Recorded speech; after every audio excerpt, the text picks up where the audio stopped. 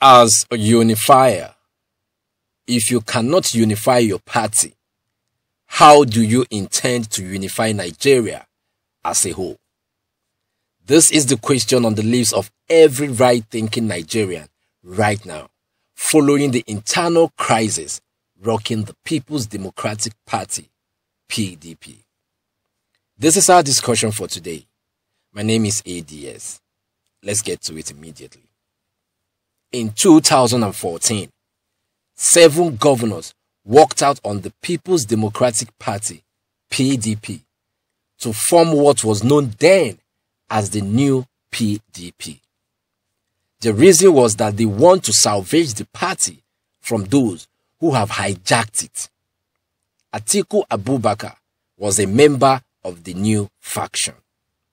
This faction within the PDP motivated the formation of the All Progressive Congress APC that eventually snatched power from the ruling PDP in 2015. Is eight years after, and the PDP that seriously wants to take back power from the APC is still faced with internal crisis just five months to the presidential election. What really is the issue here? Now listen to the former governor of Plateau State, Jonah Jang, table what the core issue is. Watch. Everything Governor Wike has been saying, it is not for him as a person. And it is not because he lost the primaries or he was not taken as a VPS. It is being meant to understand. We have gathered here today to assure you that see the, our gathering here. We are all in support of what Governor Wike has been saying because he has been saying nothing but the truth. And uh, it is our desire, some of us who are the founding members of PDP from G18 to G34 here, there, and so on. We formed this party on the principle of justice, fair play, and equity. But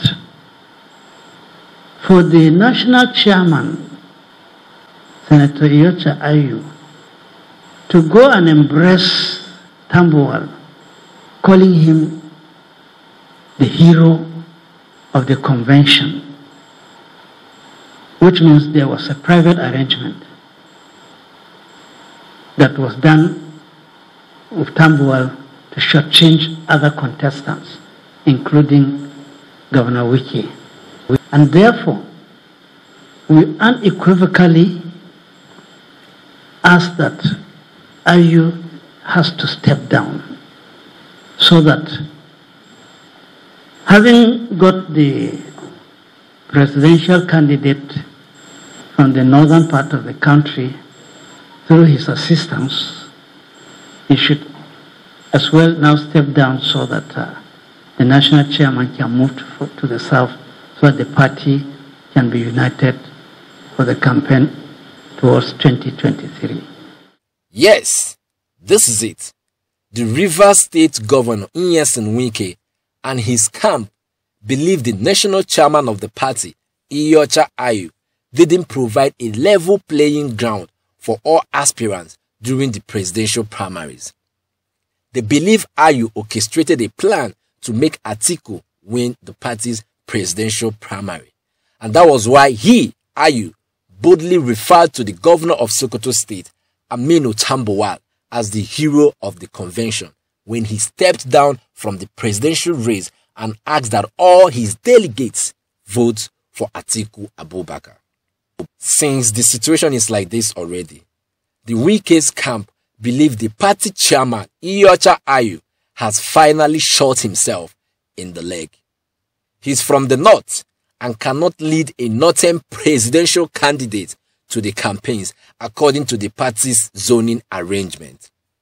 Watch a chieftain of the party, Olabode George, read out what the Wike camp has resolved to do if the right things are not done, leading to the opening of the campaigns slated to begin on the 28th of September 2022. Just seven days from today. Watch. After an exhaustive meeting held on Tuesday, 20th of September in Port Harcourt, we as committed members of the PDP resolve that we are deeply concerned about the divisions in our party. We are aware that over the years our party has developed conflict resolutions, resolution mechanisms that guaranteed our inclusiveness and victory. However, the published Presidential Campaign Council list translates to putting the cart before the horse. The pertinent issue before the party remains the resolution of the Ayu leadership debacle, which is a departure from the spirit and letter of our Constitution, which undermines the unity of our great party. It was therefore resolved that Senator Iyorchia Ayu resigns as the national chairman of the party for an acting chairman of Southern Nigeria Extraction to emerge and lead the party on the national campaign.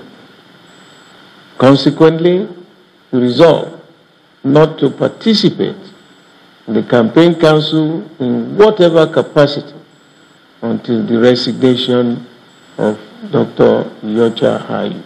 Will Atiku Abubakar, the presidential candidate of the People's Democratic Party, overlook this?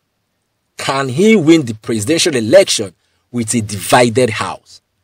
Look at the caliber of politicians that have stepped down from his campaign if Ayu does not resign before the campaigns begin. These are chieftains of the party and elder statesmen. It now becomes a common knowledge that if Atiku Abubakar cannot unify his party, how does he intend to unify Nigeria as a whole? Governor Nyesom Wike seems to have what it takes to pull down Ayu from the position of the national chairman. The interesting part here is that the governor of Oyo State, Seyi Makinde, who was named as the vice chairman south of the Atiku Campaign Council, of which Wike is a member of his team, is also in the Wike camp, calling for Ayu's resignation. Hear him speak. Watch. I uh, mentioned at the uh, Southwest uh, Consultative uh, uh, meeting, and that is exactly where we are. We hope that the powers that be will listen to the voice of reason and do the needful. Thank you. Wike has really become an influential figure in the PDP. What do you think his moments will be like now? Check out this video.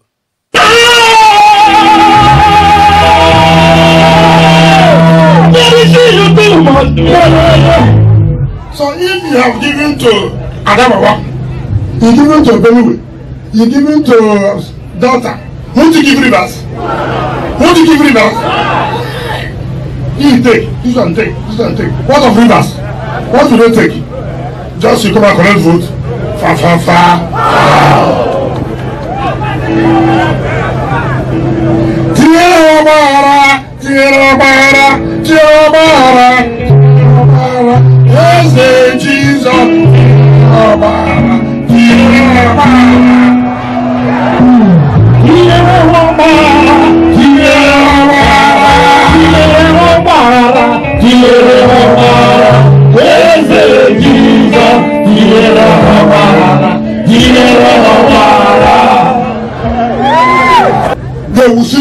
See from now to the end until they, they withdraw and understand that there's no road there. Do you understand me? Kama m ga-anwụ ka m dalewa abụọ ndale ndale kama m ga-anwụ. Anyways, the greatest power in any election lies with the electorate. We will make the needed change come 2023. Just get ready. I'll see you again.